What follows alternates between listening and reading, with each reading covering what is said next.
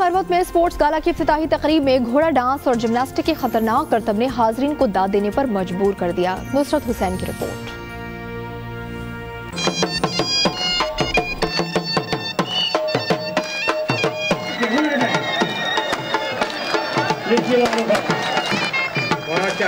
Tehsil council ground Lakki Marwat میں ہوا دس روزہ سپورٹس گالا کی رنگا رنگ افتتاحی تقریب کا انعقاد جس میں ضلعی انتظامیہ تحصیل حکومت عمائدین علاقہ سکولوں کے طلباء اور عوام کی بڑی تعداد نے شرکت کی۔ چھ مختلف گیمز میں خیبر پختونخوا اور پنجاب کی ٹیمیں شامل ہیں۔ یہ گیم اسی لیے ہم کروا رہے ہیں کہ لوگ آپس میں ایک دوسرے کے ساتھ اسی طرح جیسے پہلے لوگ آپس میں مطلب بھائی چارہ اور ایک اکٹھے رہتے تھے۔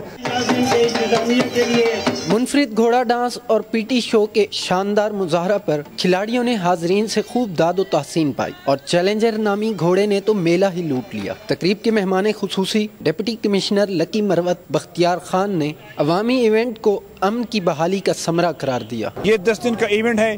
اس میں ہر قسم کے کھیل ہوں گے اور اس میں پوری صوبے سے ٹیم آئیں گے اور پنجاب سے بھی ٹیمز آئیں گے یہاں پہ میچ کھیلیں گے۔ تقریب کے اختتام پر مہمانوں نے بہترین کارکردگی کا مظاہرہ کرنے والی ٹیموں میں نقد انعامات اور اعزازی اسناد تقسیم کی۔ پروگرام میری دنیا کے لیے کیمرامین فیصل راجہ کے ساتھ نصرت حسین دنیا نیوز لکی مروت